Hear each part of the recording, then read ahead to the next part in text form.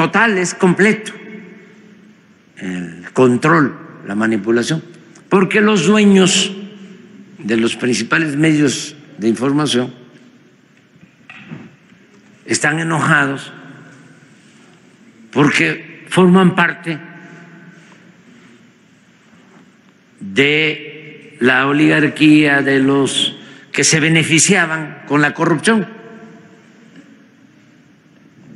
No solo porque eh, se les entregaba publicidad, se les pagaba con el presupuesto, que es dinero del pueblo, mucha publicidad a la radio, a los periódicos, a la televisión. No, eso es la bachicha,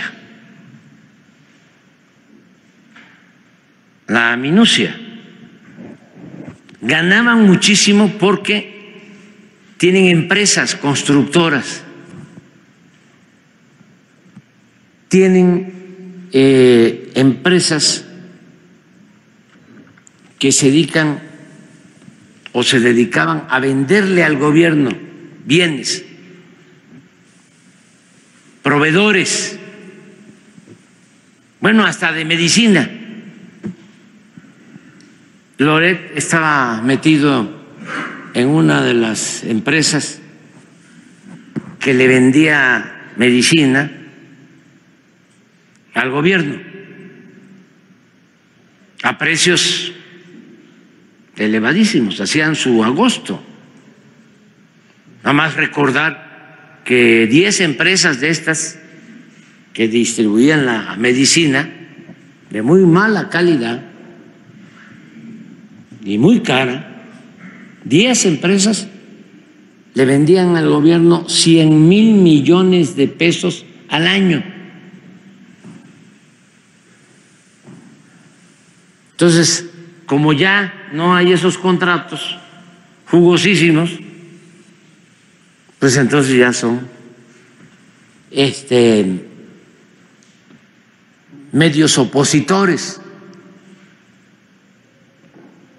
Se volvieron de la noche a la mañana críticos del gobierno,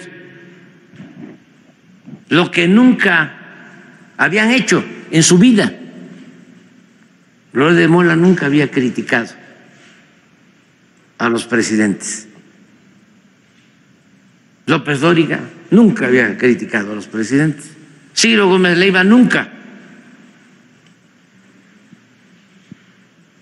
Ninguno.